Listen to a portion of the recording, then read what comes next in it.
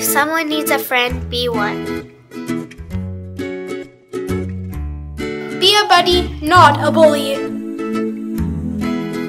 Treat people how you want to be treated.